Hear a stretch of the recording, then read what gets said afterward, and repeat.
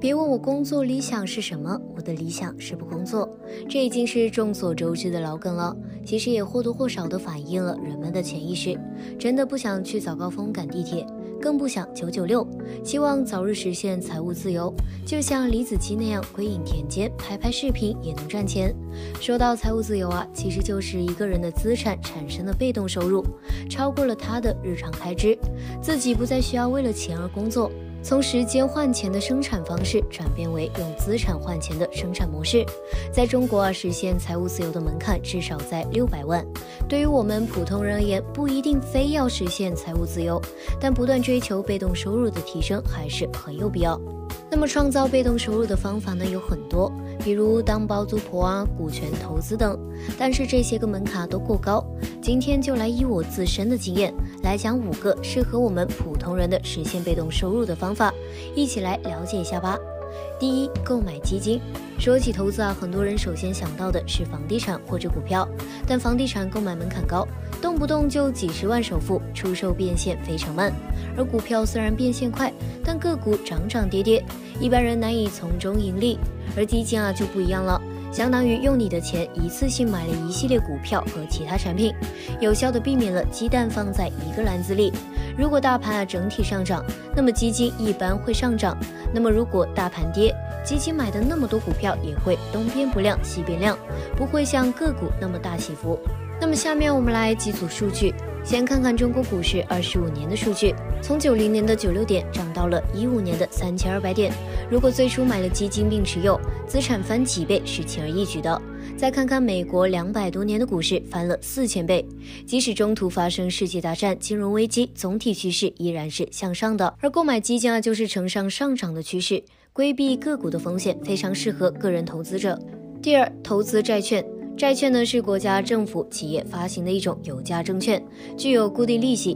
只要债券发行方不经营不善，一般呢不会有什么风险。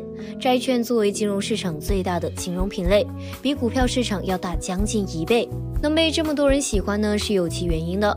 手下债券的发行都是经过严格的审核，一般风险较低。债券的发行方呢会定期支付票息，有的是到期后一次性支付，有的是每年支付，有三个月支付，到期后支付本金，本金的损失风险很小。这个其次，债券是可以在市场上买卖的，可以根据资金需要及时的变现。虽然债券也会有价格的波动，只要不是选择的垃圾债，也不会出现巨幅亏损。第三，投资股票。百分之七十以上的人在股市是难以赚钱的，但是其投资门槛低，几百上千就能做股市投资。只要我们遵循那一定的纪律，在股市里保持盈利并不难。结合我个人及身边朋友的经验，总结出以下的几点：一、恪守投资纪律，形成自己的原则，买什么、怎么买、怎么卖、什么时机买卖，都要形成自己的原则。同时还，要克服人性的弱点，才能做到涨跌不惊。在这上期有提到。没看过的小伙伴可以回去看一下。